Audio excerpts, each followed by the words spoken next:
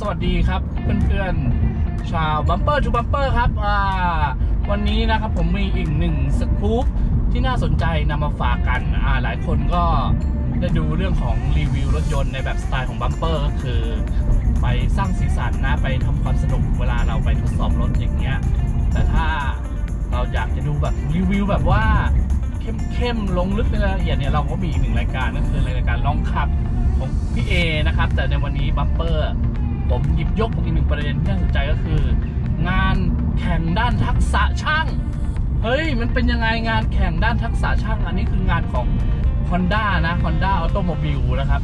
เขาจัดแข่งกันเป็นประจำทุกปี ก็จัดมาได้หลายปีแล้วผมก็มาทุกปีเลย ซึ่งความน่าสนใจก็คือ เนี่ยคืองานที่พิสูจน์เลยว่า ศูนย์ไหนนะครับจะเป็นที่หนึ่งด้านงานขาย ด้านงานซ่อม ด้านงานสีหรือว่าด้านงานลูกค้าสัมพันธ์เนี่ยเขาก็จะมีจัดแข่งกันเป็นประจำทุกปีเหมือนกีฬาสีนะครับที่ศูนย์ฝึกอบรม Honda บางชัน Honda บางชันนี่ก็อยู่บนถนนเสรีไทยใกล้บ้านไงคือพอบอกว่ามันใกล้บ้านก็เลยเอออาสาอาสา เพราะว่ามันเป็นงานวันอาทิตย์นะครับ ก็น่าจะเป็นวันที่ พี่เขาลูกค้าน้อยที่สุดละก็เลยมาจัดแข่งขันกันได้นะในวันนี้เนี่ยเดี๋ยวบรรยากาศเนี่ยมันจะมีความสนุกขนาดไหนนะครับ แล้วก็การแข่งขันเนี่ยเขาแข่งกันยังไง มันมีความน่าสนใจอยู่ เพราะว่าหลาย ๆ อย่างมันมีการจำลองสถานการณ์ เหมือนกับรับมือลูกค้าจริง ๆ เลย เออ มันมีเหมือนแบบเล่นละครอะแบบโอ้เล่นใหญ่อะอะไรกันอย่างเงี้ยแบบแล้วคุณจะต้องรับมือเออสิ่งเหล่านี้ที่ต้องเกิดขึ้นจริง ๆ นะครับ ไม่ว่าจะทั้งเป็นเรื่องของ อารมณ์ ความพึงพอใจของลูกค้านะครับ หรือว่าจะเป็นทักษะในส่วนงานซ่อมสีตัวถังบอดี้การเชื่อมต่างๆ เนี่ยก็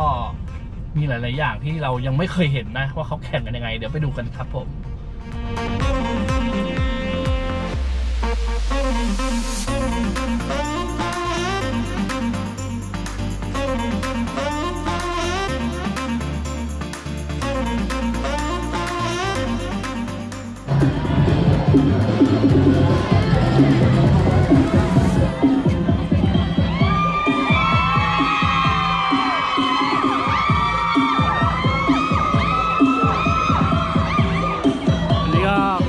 ากาศนะครับ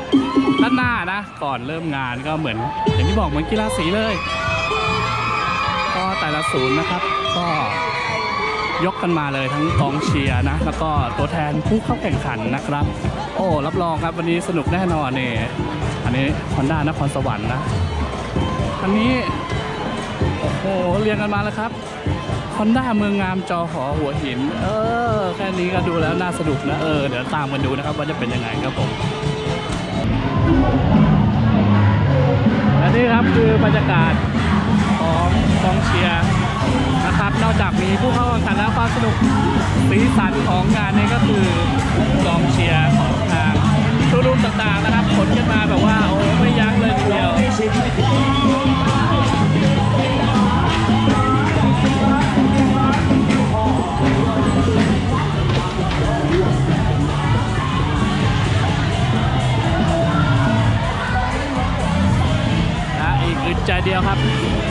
เนี้ก็จะ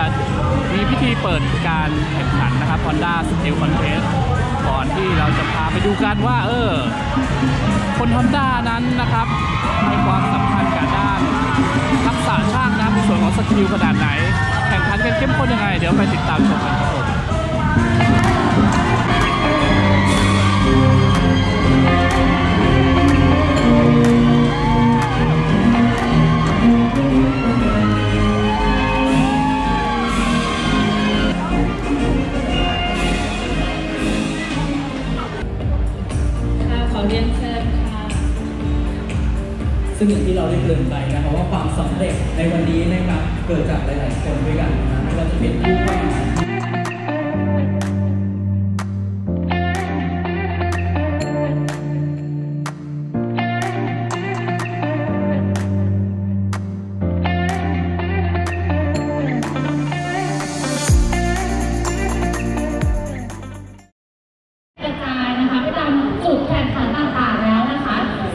ซึ่งพื้นที่บริเวณตรงนี้นะคะ เป็นพื้นที่ของผู้เข้าแข่งขันประเภท general repair หรือพนักงานช่างซ่อมทั่วไปนะคะ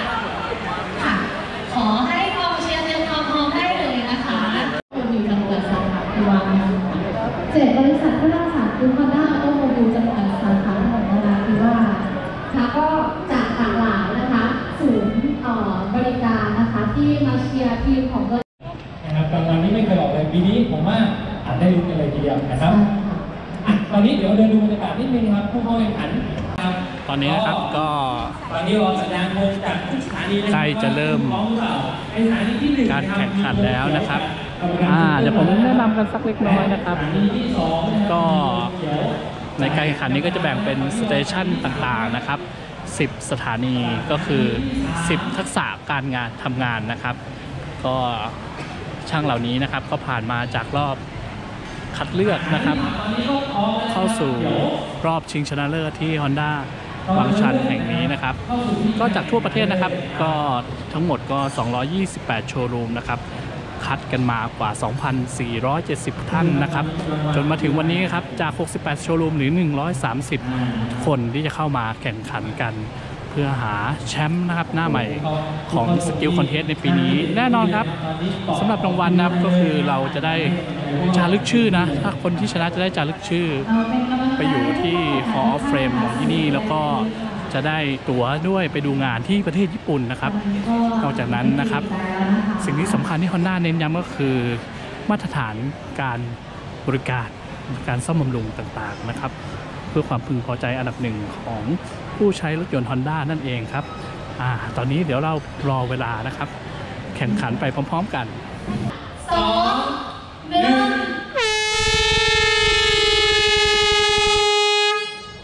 การซ่อมทั่วไปนะครับ ก็แน่นอนครับกว่าจะมาถึงรอบนี้นะครับ ก็มีการแข่งขันทั้งเรื่องของภาคทฤษฎีแล้วก็ภาคปฏิบัติด้วยนะครับ แต่ละจุดก็จะมีเวลาแข่งขันกันอยู่ประมาณ 30 นาทีครับ ในรอบชิงชนะเลิศครับทำการแข่งขันในวันที่ 15 นะครับ กันยายนที่ผ่านมานะครับ ใช้เวลาก็คือ 1 วันเต็มนะ แข่งกันตั้งแต่เช้านะครับ แล้วก็ประกาศผลตอนเย็นนะครับ ก็จะมีในส่วนของงานต่างๆนะครับเดี๋ยวเราตามไปดูกันต่อครับในส่วนนี้นะครับก็เป็นปฏิบัติงานเกี่ยวกับพวงมาลัยอ่าพวงมาลัย power นะครับ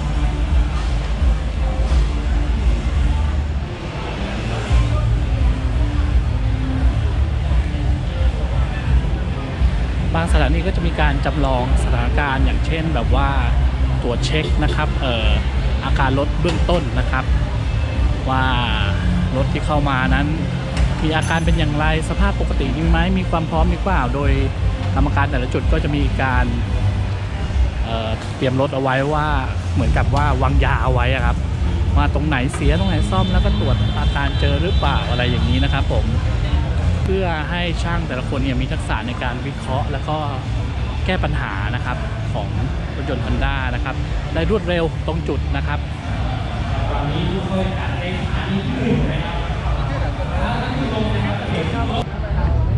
รงนี้ก็ในส่วนของพนักงานอะไหล่เองนะครับ ก็ต้องมีการ แข่งขันเช่นกัน เช่น ดูเรื่องของพาร์ทนัมเบอร์นะครับ การหยิบชิ้นงานอะไหล่ต่างๆนะครับ การตรวจสอบความถูกต้องของอะไหล่นะครับ ทุกอย่างนะครับก็มีเรื่องของเวลาเป็นตัวกำหนดแล้วก็ความถูกต้องด้วย ก็อย่างที่ทราบวันนี้ครับรถหนึ่งรุ่นนั้น บางทีก็แบบเดียวกันนะครับ แต่ก็มี part number หลายแบบ ทั้งเรื่องของ option แล้วก็สีสันต่างๆ บางรุ่นก็จะมีภายในหลายแบบนะครับ เรื่องความเที่ยงตรงแม่นยำก็เป็นสิ่งสำคัญด้วยนะครับ ไม่ฉะนั้นมันจะก่อทำให้ลูกค้าอาจจะเสียเวลาในการเอารถเข้ามาซ่อมแล้วก็ได้อะไรที่ไม่ตรงนะครับไม่ตรงเบอร์ไม่ตรงสีไป แต่งานนี้ผมบอกเลยนะเป็นส่วนที่สนุกจริงๆเนี่ย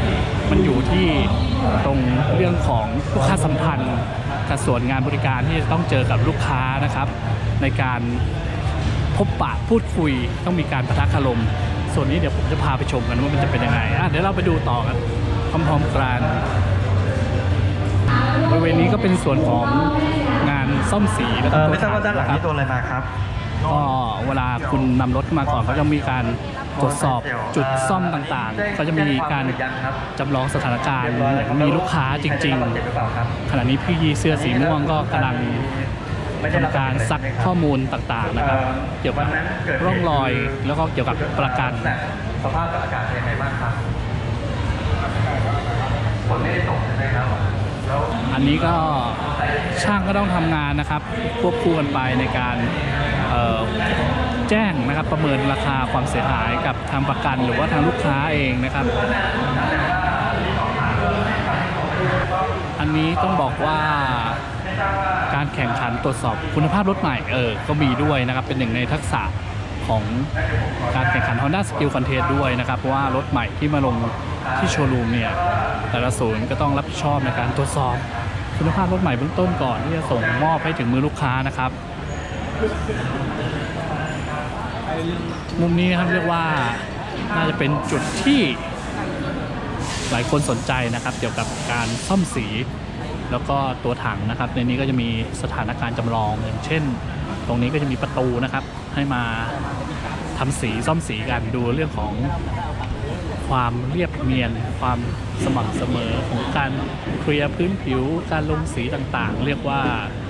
ทำกันจริง ๆ นะ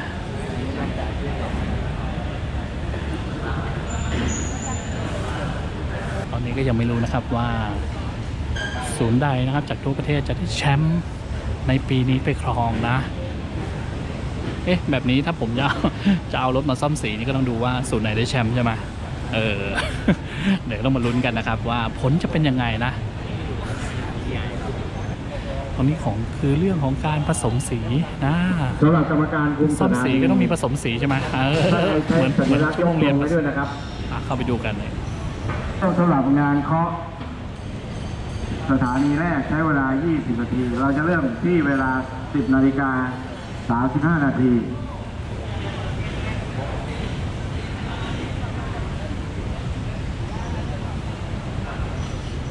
อาเป็นไงครับ เดี๋ยวยังมีอีกหลายส่วนงานนะครับที่น่าสนใจงั้นเดี๋ยวผมพาไปดูกันต่อนะครับ ก็ถือว่าเป็นงานที่สนุกสนุกนะครับ เปลี่ยนบรรยากาศกันบ้าง เราดูเรื่องของการเทสรถมาแล้วทดลองรถมาแล้วนะครับ แต่ว่ามันจะมีเรื่องอีกหลายอย่างนะ ที่เกี่ยวกับรถยนต์นะในการเข้าศูนย์ก็สำคัญครับ เดี๋ยวผมพาไปชมกันต่อเออใครยังไม่เคยดูก็มาดูไปพร้อมๆกันเลยได้ทำสีได้เลยนะครับเดี๋ยวไปผ่อนขึ้นไซส์เดือนเองอ๋อครับได้เลยส่วนกันชนด้านหน้าฝั่งซ้ายก็ยังไม่มีรอยอะไรนะครับ ผมของคนด้านหน้าซ้ายก็จะเป็นอย่างนี้นะครับผมเรื่องของการต้อนรับนะครับอย่างมืออาชีพก็สถานการณ์นี้ก็ให้มีประตูด้านหน้าลูกซ้ายค้าเอารถมาส่งที่โชว์รูมนะครับพนักงานต้อนรับก็จะเข้ามาตรวจสอบสภาพรถแล้วก็แจ้งไม่ต้องกังวลครับงานของทั้งผมมีบริการล้างที่จะรับรถลูกค้าไว้นะครับโดยส่วนใหญ่ก็จะเป็นเรื่องของแจ้งริ้วรอยต่างๆ ตรวจสอบเรื่องตัวถังระยะรถนะครับ หรือว่าสิ่งของภายในรถนะครับ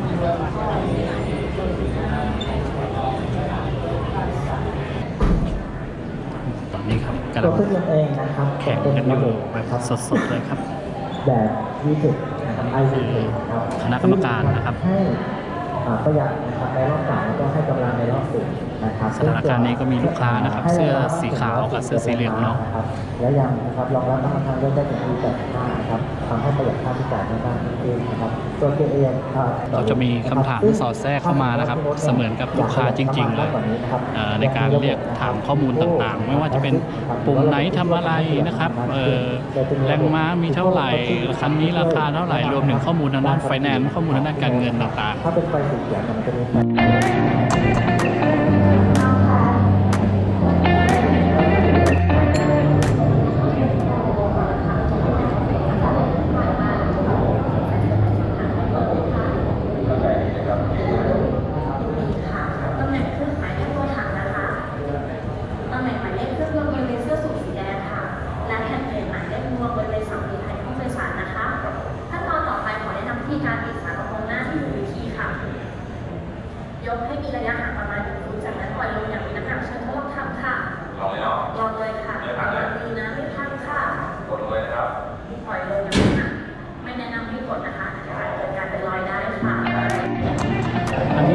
านปฏิบัติการสินค้าไปดูการแวร์เฮาส์คอนโหเป็นยังไงบ้างครับ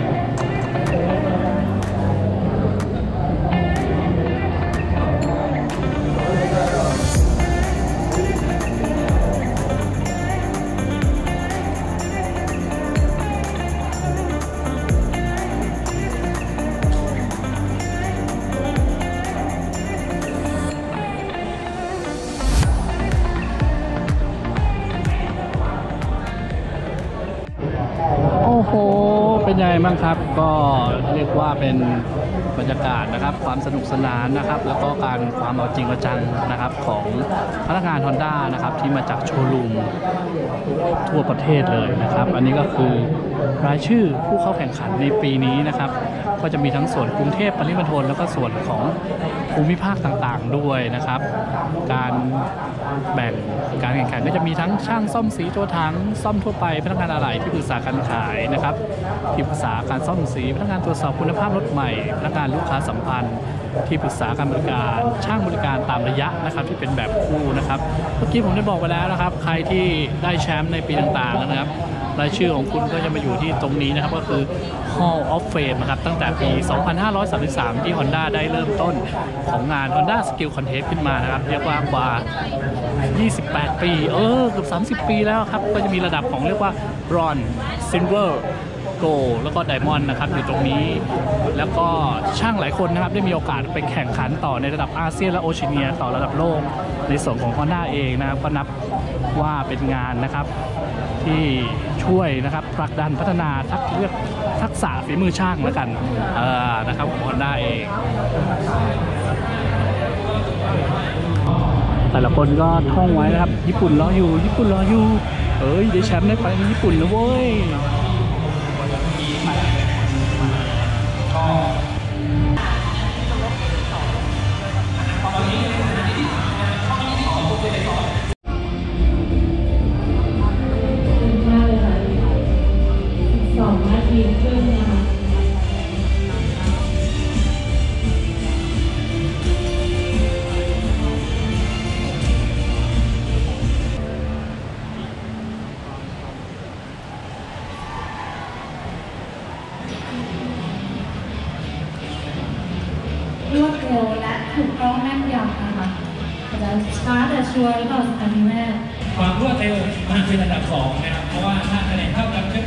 ทุกข้อเนี่ยเราก็จะมาดูที่เวลานะครับว่าใครทำเสร็จก่อนกันนะครับ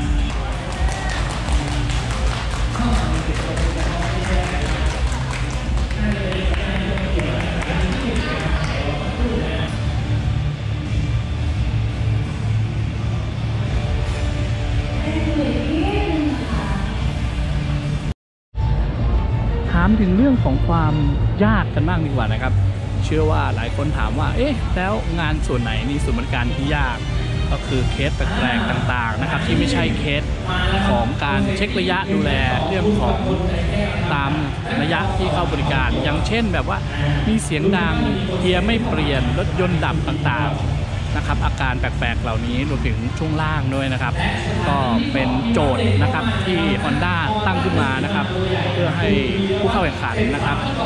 ได้ฝึกฝนนะครับทักษะตรงนี้นะครับไม่ว่าจะเป็นการหาอาการต่างๆ จากการใช้เครื่องมือ หรือว่าที่ใช้เสียบ OBD นะครับวิเคราะห์ปัญหาต่างๆ และแก้ไขได้ตรงจุดหรือเปล่านะครับ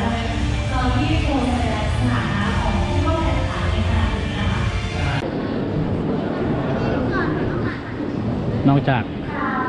เรื่องของการแข่งขันนะครับนับว่าผู้เข้าแข่งขันแต่ละคนก็มีความกดดันอยู่ไม่น้อยนะ ทั้งจากเรื่องของกรรมการเอง ไหนจะผู้ชมอีกแล้วก็ผู้ร่วมแข่งขันกันเอง ที่คอยจับตาดูกันอยู่นะครับ ตรงนี้ครับความสนุกเริ่มต้นแล้ว อันนี้เป็นเรื่องของลูกค้าร้องเรียนครับผม ก็จะมีบทบาทสมมติ เหวี่ยงมีเจมาเหวี่ยงนะครับ เดี๋ยวตามไปดูกันนะครับมันมีในเรื่องของแน่นอนครับว่ารายการอุปกรณ์ของแอปที่ระบุมาครับมันมีการระบุมาแล้วว่าเป็นของมันด้าซึ่งอันนี้มันมีในเรื่องของการรับประกันอยู่แล้วด้วยนะครับซึ่งอันนี้เป็นเป็นของแท้แน่นอนอยากให้ลูกค้ามั่นใจครับเพราะว่าที่เจ้าหน้าที่บอกนะคะว่าเป็นของปลอมอืมครับเด็กมองว่าในส่วนปัญหาที่ เกิดขึ้นตรงนี้นะครับความเทียบเคียงในเรื่องของผลิตภัณฑ์หรือในส่วนของเปิดหน้าเนี่ยอาจจะมีความคล้ายหรือคล้ายคลึงเหมือนกันนะครับ แต่ทีนี้ว่าถ้าดูจากในส่วนแล้วเนี่ยนะครับตามใบสั่งจองแล้วเนี่ยเรามีการติดตั้งตามนี้ก็คือเป็นในส่วนของความยากของแผนนั่นแสดงว่าศูนย์คุณดูไม่ออกเหรอคะว่าของปลอมกับของแท้เนี่ยค่ะมาบอกเทียบเคียงก่อนอันนี้เป็นเรื่องของ part part ปลอมนะครับหรือว่า ส่วนใหญ่นะครับศูนย์ก็จะให้ part นะครับความใกล้เคียงกันที่คล้ายคลึงเออคล้ายคลึงโรงงานแล้วกันนะะเบียนรถชื่อว่าไงคะก็ในส่วนของตัวทะเบียนรถตรงเนี้ยนะครับเอาเป็นอย่างนี้นะครับก็ในเมื่อมันมีการจดทะเบียนมาเนี่ยมันเป็นค่าของแบบประกันผมบอกเลยนะตรงนี้แค่ฟังก็เหงื่อแตกแล้วอะโหดโหดมากแค่ฟังก็เหงื่อแตกในแล้วส่วนของตรงเนี้ยนะครับเอกจะขอเป็นพนักงานฮอนด้าไม่ง่ายอย่างที่คิดนะครับ ถอดหน้าสเกิร์ตฉันไม่มี เหมือนกันหน้าฉันไม่ได้ทาแป้งอะสิเธอ ครับถ้างั้นเป็นอย่างนี้ ก่อนไหมครับเอกขออนุญาตดูเพิ่มเติมในส่วนที่เป็นเรื่องของการติดตั้งส่วนที่ที่เป็นชิ้นงานนะ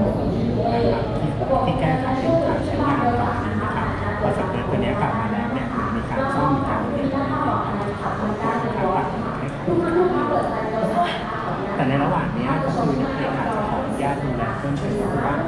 ลูกค้าต้องมีการกลับไปกลับมากับทางศูนย์บริการเพื่อมาทำการซ่อมตรงนี้ใช่ไหมครับหรือเอกอาจจะขอดูในเรื่องของส่วนลด หรือในเรื่องของการการติดตั้งต่างๆในส่วนของอุปกรณ์ตกแต่งรถนี่รถเท่าไหร่จ๊ะเอกอาจจะขอดูส่วนลดในเรื่องของค่าแรงเอกไม่คิดเลยก็ได้ครับ ยังจะมาคิดฉันอีกเหรอค่าแรง อันเนี้ยคือค่าแรงเอกดูแลให้หมดเลยครับ ไม่มีปัญหาตลอดชีพหรือเปล่า ก็ในส่วนของงานติดตั้งตัวนี้นะครับ เดี๋ยวเอกจะดูให้เสร็จเรียบร้อยไปแล้วฮะก็เป็นอีกหนึ่งวันหยุดครับ ก็ถ่ายคลิปมาฝาก เพื่อนๆกันนะก็มาดู เดี๋ยวตอนเย็นเขาก็จะประกาศผลแหละ แต่ว่าวันนี้อยู่ไม่ถึงนะ ต้องขอตัวเดี๋ยวเขาส่งผลมาให้ผมทีหลังเนอะแล้วก็ไปหาดูกันได้ ว่าศูนย์ไหนนะครับ โดดเด่นเรื่องทักษะด้านไหนอ่า Honda Skill Contest 2019 นะครับ ผ่านพ้นไปแล้วแล้วเจอกันใหม่ครับ ปีหน้านะครับแล้วเดี๋ยวผมจะมาทำคลิปอีกครั้งหนึ่งเออเอามาสนุกกันนะ บรรยากาศดีๆแบบนี้ที่ Honda นะครับบางชัน วันนี้ไปก่อนนะ